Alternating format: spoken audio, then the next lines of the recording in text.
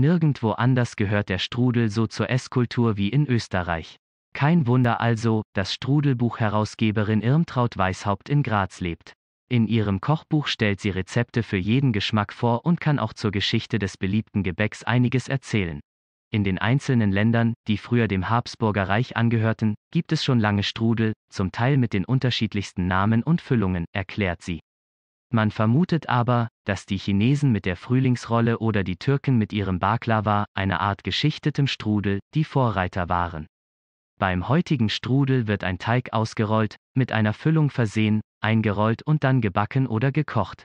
Die Bezeichnung Strudel kommt wahrscheinlich daher, dass die Teigrolle ursprünglich zusätzlich spiralförmig eingerollt wurde, also in der Form an einen Wasserstrudel erinnerte.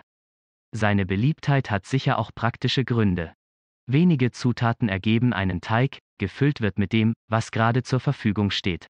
Das erklärt auch, warum der Apfelstrudel zum Klassiker wurde. Äpfel gibt es überall, deshalb hat sich der Apfelstrudel sicher auch so verbreiten können, meint Weishaupt. Einst eine beliebte Hofspeise, haben in den letzten Jahrzehnten die Touristen das süße Gebäck begeistert aufgenommen. Damit hat sich der Apfelstrudel fast zu einer Legende entwickelt. Irmtraut Weishaupt bereitet für sich, ihren Mann und den Sohn selbst gerne einen Strudel zu. Ich bin aber eher auf der pikanten Seite, sagt sie. Das Lieblingsrezept, das der ganzen Familie mundet, ist solch ein herzhafter Strudel, wenn es schnell gehen soll, sogar mit einem gekauften Blätter- oder Strudelteig, gesteht die Grazerin. Bei ihrem Lieblingsrezept röstet sie für die Füllung zuerst Zwiebel und Hackfleisch an und würzt mit Salz, Pfeffer, Knoblauch und Majoran. Dann gebe ich Gemüse dazu, was gerade im Garten ist oder auch Tiefkühlgemüse, wenn es schnell gehen soll. Ist das Gemüse hart, wie etwa Karotten oder Erbsen, sollte es schon etwas vorgekocht sein, beschreibt Weishaupt. Die gesamte Füllung kommt auf den Teig. Ich reibe ein bisschen Hartkäse darüber und dann wird der Strudel eingerollt und mit Ei bestrichen damit er schön goldbraun und knusprig wird. Nach etwa 35 bis 40 Minuten ist Ihr Strudel fertig und ergibt zum Beispiel kombiniert mit einem frischen Salat ein vollständiges Hauptgericht. Die Backtemperatur beträgt in der Regel bei Ober- und Unterhitze zwischen 180 und 200 Grad, bei Heißluft 20 Grad weniger. Mindestens gut 30 Minuten sollte ein Strudel generell im Ofen sein. Eine ausgefallene herzhafte Variante ist der Käferbohnenstrudel. Die schwarz-lila gefleckten Bohnen, vor allem in der Steiermark eine Spezialität, sind in Deutschland als Feuerbohnen bekannt.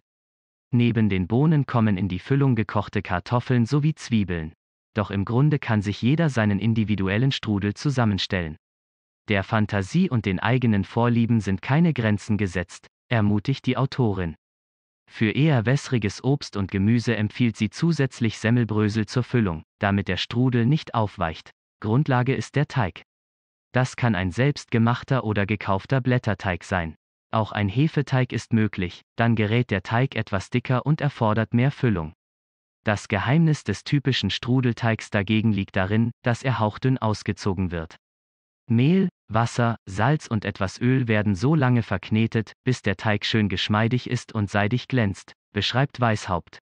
Nachdem der Teig eine Weile bei Zimmertemperatur geruht hat, wird er ausgerollt und vorsichtig über den Handrücken einer Faust gezogen, bis man durch ihn eine Zeitung lesen könnte, erläutert sie. Als ich das das erste Mal gemacht habe, dachte ich, das schaffe ich nicht. Und es kann natürlich passieren, dass er reißt. Nicht entmutigen lassen und immer wieder probieren, lautet die Devise. Und mit einem Stück Teig kann man sogar ein Loch im Strudel flicken. Strudel mit besonderer Note gibt es bei Dominique Clie. Er verkauft unter dem Namen Kaspar Plautz mit Kompagnon Theo Lindinger Kartoffeln und Kartoffelgerichte auf dem Münchner Viktualienmarkt. Entsprechend arbeitet er Kartoffeln in den Teig für seinen süßen Strudel ein. Man hat nicht so eine blättrige Note, sondern es ist eher eine knusprigere Geschichte, die innen trotzdem saftig fluffig ist.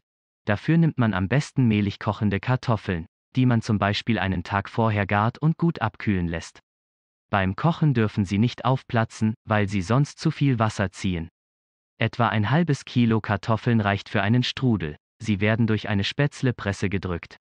Dazu kommen 100 Gramm Mehl, ein Ei und eine Prise Salz. Je nach Kartoffelsorte arbeitet man noch 20, 30 Gramm Mehl mehr ein, bis man einen geschmeidigen Teig hat, der nicht mehr am Schüsselrand klebt, erklärt Klie. Dieser Teig wird, Nicht ausgezogen, sondern mit dem Nudelholz einen halben Zentimeter dick ausgerollt und mit geschmolzener Butter bestrichen. Dann kann man ihn mit allen saisonalen Obstsorten füllen, die zur Verfügung stehen, ermutigt Klie. Er selbst ist ein großer Fan von Äpfeln und Zwetschgen mit Zimt und Zucker, dazu etwas Sauerrahm. Gebacken wird sein zusammengerollter Strudel etwa eine Stunde in einer mit zerlassenem Butterschmalz gefüllten Back- oder Auflaufform. Und wieder zeigt der Strudel seine Vielfalt, auch die Kartoffelteig-Variante lässt sich laut Klie herzhaft füllen. Mit Pilzen oder einem Rahmwirsing, alles ist möglich.